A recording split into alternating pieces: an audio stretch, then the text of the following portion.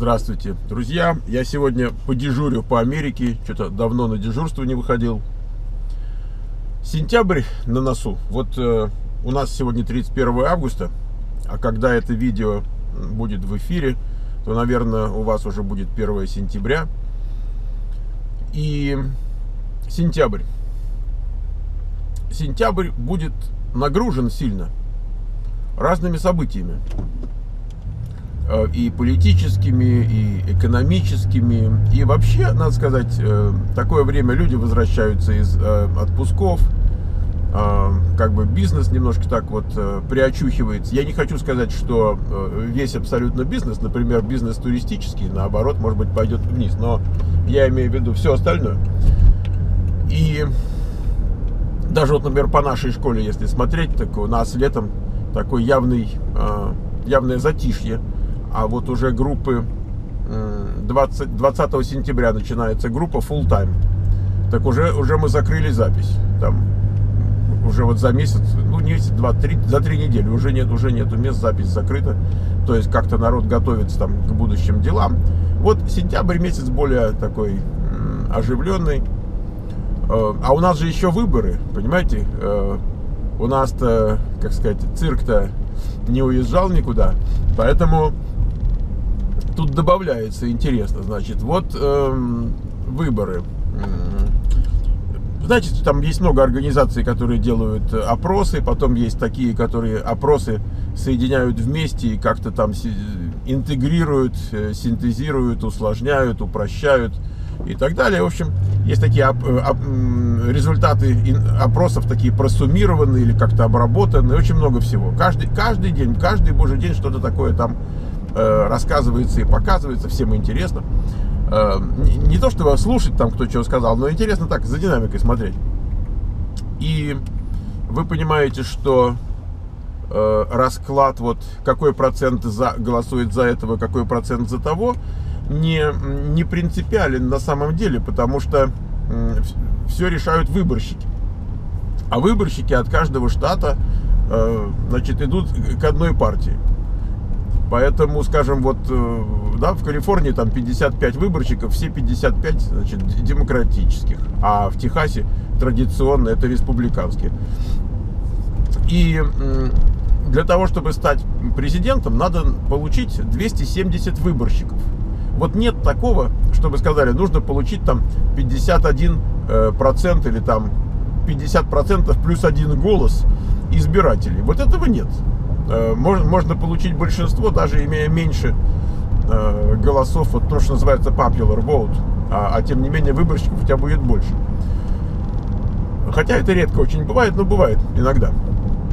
Так вот, э, есть такие карты рисуют, карта Соединенных Штатов покрашена в несколько цветов. Красный такой, хороший красный, это республиканский, такой розовенький, это скорее всего республиканский. Соответственно, синие демократы, голубенькие, значит, скорее всего демократы. И там, допустим, каким-нибудь там бежевым рисуют э, так называемый swing state, который непонятно как вот... И вот там все решается. Э, классификация swing state, наверное, разная бывает, но вот последняя карта, которую я посмотрел, они говорили, если там перевес меньше 5% у одного кандидата, 5% меньше, чем 5, то мы считаем это swing state.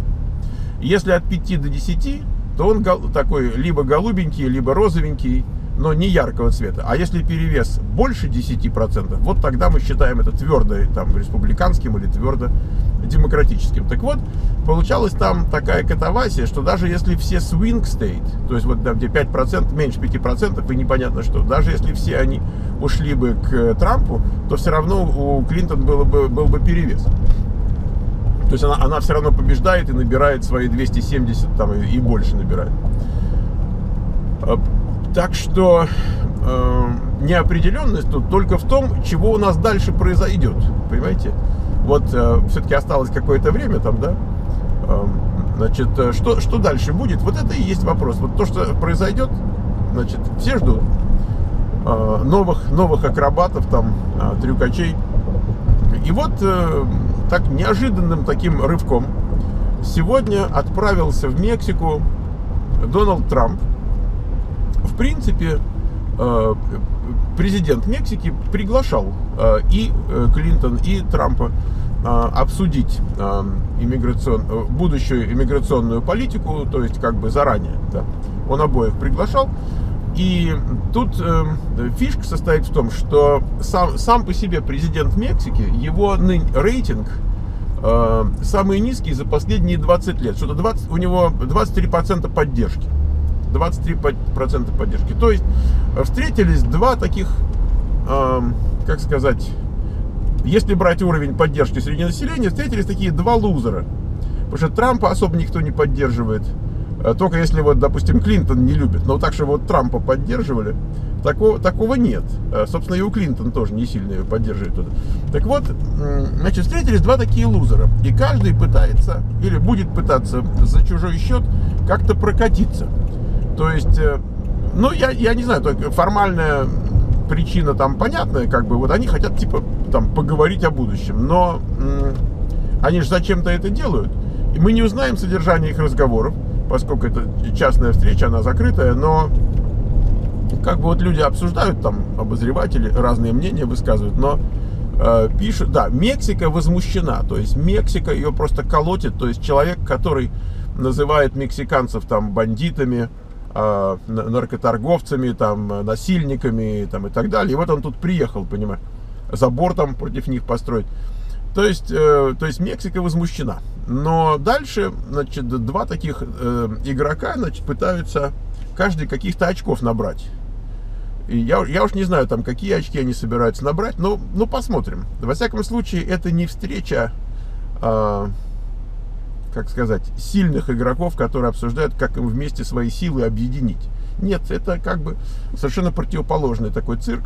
Эм, и все ждут с интересом. Сегодня в 9 часов, сегодня среда, 31 э, августа, в 9 часов по времени вот там на восточном побережье, Eastern Time, у нас, соответственно, здесь в Калифорнии будет 6, э, Трамп э, выступает, как проанонсирована его речь, какая-то на, по иммиграционной политике. По иммиграционной политике. Вот он, значит, сейчас поговорит там с мексиканским президентом и, усилившись по этой линии, что-то скажет. Хотя я думаю, что речь уже была давно написана, и как бы от забора он отказаться не может.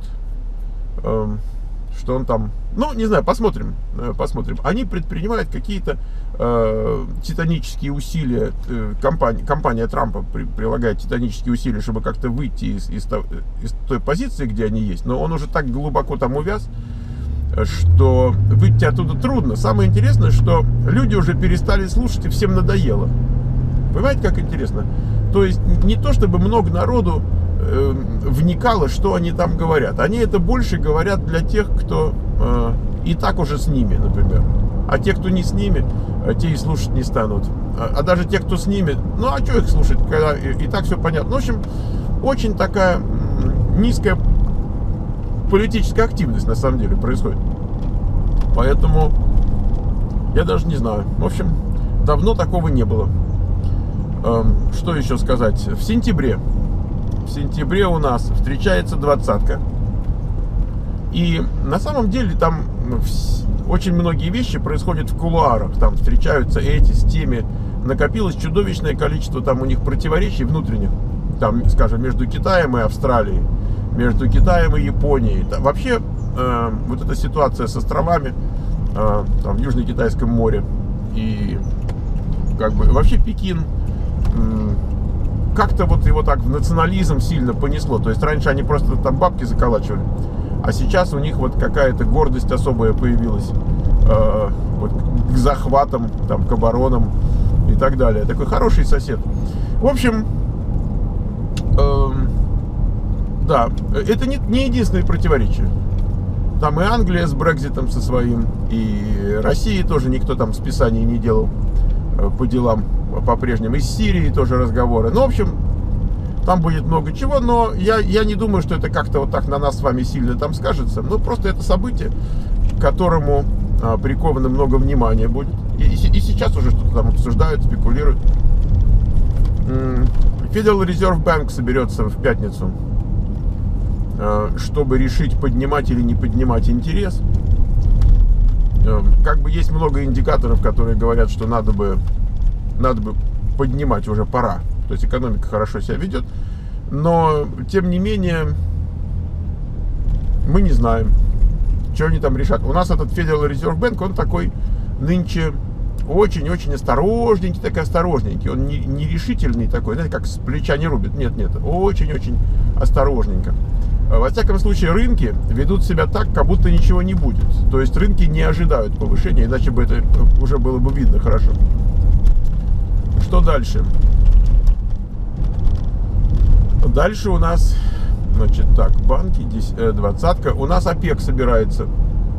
Э, и на этой новости тоже было много спекуляций. Цена на нефть ходила последнюю там неделю туда-сюда, э, потому что каждый раз там возникают надежды, что они все-таки договорятся о, о квотах на производство нефти.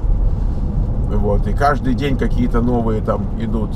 Вот сегодня, например, говорят, что в США оказалось неожиданно совершенно, но вот никто не ожидал. Оказалось, что резервы нефтяные какие-то очень большие, все думали, что меньше, значит, это там еще нефть немножечко упала.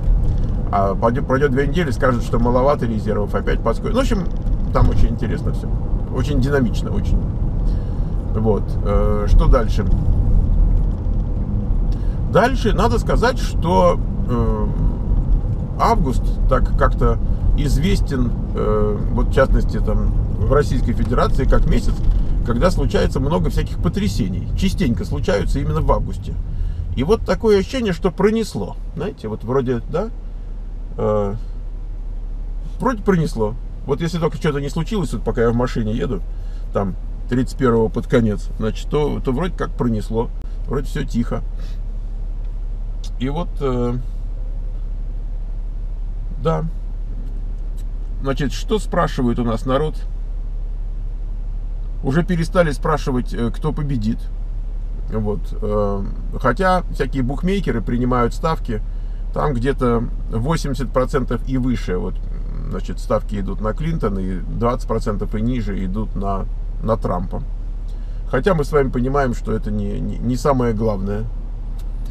Эм, я тут вот, э, поскольку я готовлюсь к встрече с господином Гозманом, президентом движения Союз правых сил, Э, где-то вот в четверг, завтра, послезавтра мы с ним должны поговорить. я посмотрел какие-то его передачи, э, где он участвовал. И вот он в одной передаче сказал, я не, я не знал этого. И он сказал, что есть статистика, известно, э, как получилась вот эта история с Брекзитом, когда все думали, что будет, что Британия остается, и вдруг оказалось, что она выходит.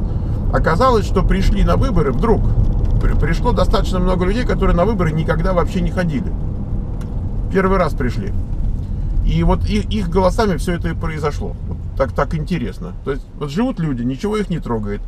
А тут вот они раз пришли и все. Поэтому всегда есть шанс на то и шанс на это. И эм, это выборы, которые будут, результаты которых будут определяться какими-то девиациями. Понимаете, не, не тем, что вот то есть основное блюдо. Основное блюдо э, изготовлено и подано а, это победа э, Хиллари Клинтон. Но дальше возможны варианты. И вот поскольку э, вообще варианты возможны в целом по жизни, но в данном случае у нас такой замечательный кандидат, как господин Трамп, который сама неожиданность, и говорят, что большие, большие приколы будут во время... Я камеру поверну. Да больших приколов надо ожидать во время э, дебатов президентских, э, потому что, ну, такой, да, не, неординарный собеседник. Вот. Хотя, надо сказать, что Хиллари в дебатах э, съела столько собак, что Трампу не снилось, конечно. Вот, она уже давно и со многими успела в своей жизни. Так вот, эм, что я говорю-то, что тоже много интересного. И, кстати, мы говорили про сентябрь. В сентябре первые дебаты, 26 сентября. Поговаривают, что м, Трамп может и проигнорировать дебаты. Или, может быть, в них поучаствует, а в остальные просаботирует. Он такую фразу сказал, что я очень хочу по, поучаствовать в дебатах, сказал, но мы должны еще посмотреть на условия. Он в большой претензии вот э, вообще ко всем вокруг. Понятно, что в его проблемах виноват не он, а кто-то еще. Вот МИД, в частности, пресса там, ну, все виноваты. Он еще посмотрит, то есть он может и даже и не станет участвовать. Эм, я думаю, что если он первые дебаты провалит, например, а это сразу известно по голосам, там, по распределению общественного мнения, это видно сразу, он может в остальных вообще участвовать не будет. Он посмотрит.